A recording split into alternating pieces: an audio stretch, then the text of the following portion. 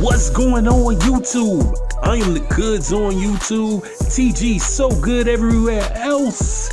You guys gotta follow me. I'm over on Twitter. Twitter handle TGsoGood, like I said. And if you don't want to follow me there, you guys make sure to subscribe to the channel here. Okay?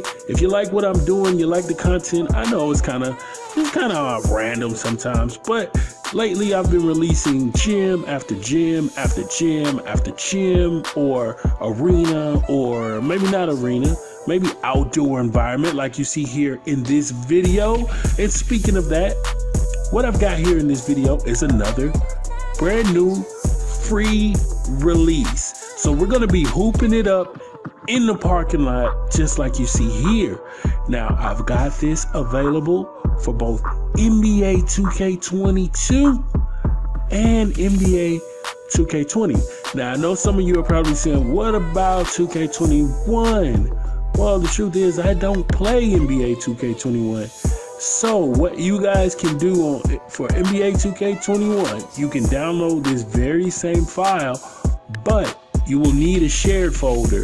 The issue is, I don't know which shared folder you need. So, when you click on the link in the description it'll have instructions about the shared folder so you can you can try out the shared folder mod for 2k20 and maybe this will work in 2k21 if it doesn't then try the one for 2k22 and then maybe this will work but between the two one of them should definitely work okay you just need a shared folder mod that you drop into your mods folder or your Wagua folder or whatever kind of folder that you're using to load up your mods. All right. So anyway, this is a basketball court in the parking lot. So I figured I'd make this, but I gave it its own little special twist, as you can see here with the graphics. I've been playing the street mode for so long that I had to spice it up. Now, what did I do to do this? This is actually a reshade effect called outline. Now I found this while watching some Street Fighter, uh, some Street Fighter videos, and I was looking for this exact effect because the effects that I had in Reshade were not accomplishing this. So this is called outline.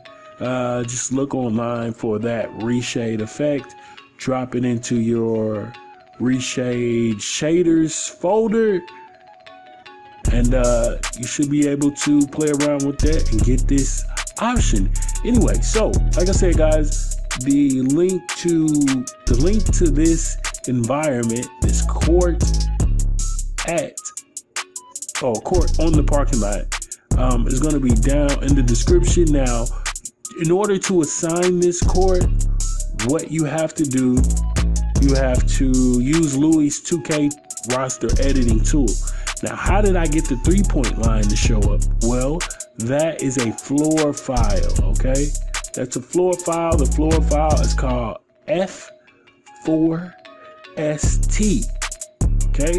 That's an abbreviation for floor for street, but it's called F4ST.if. When you assign that as the floor, as long as you have that downloaded and in your mods folder, then it'll it'll give white lines to any um, any environment that doesn't require a court. So anyway, I think I've said all that I need to say. You guys, I want you to tell me in the comments, is this dope or not? Should I do another video with this style of graphics? or not. I know most of you probably are not even going to comment. So uh, I'll probably do another video with these style of graphics. I kind of like it. I need somebody to teach me some combos as far as dribbling. I, on the other hand, I realized that I need to learn how to make characters with certain dribble styles.